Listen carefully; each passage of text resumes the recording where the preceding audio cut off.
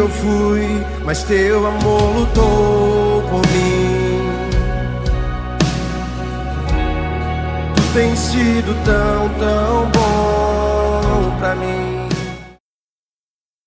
Livro dos Salmos, capítulo 28 A ti clamo, ó Senhor, rocha minha, não sejas surdo para comigo, para que não suceda se te calares acerca de mim, seja eu semelhante aos que descem a cova. Ouve-me as vozes súplices, quando a ti clamar por socorro, quando erguer as mãos para o teu santuário.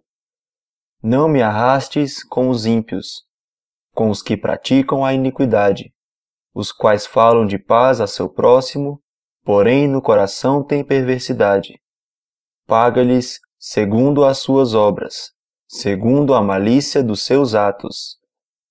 Dá-lhes conforme a obra de suas mãos, retribui-lhes o que merecem. E visto que não atentam para os feitos do Senhor, nem para os que as suas mãos fazem, ele os derribará e não os reedificará. Bendito seja o Senhor, porque me ouviu as vozes súplices. O Senhor é a minha força e o meu escudo.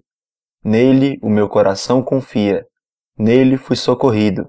Por isso, o meu coração exulta e com o meu cântico o louvarei. O Senhor é a força do seu povo, o refúgio salvador do seu ungido. Salva o teu povo e abençoa a tua herança. Apacenta-o e exalta-o para sempre.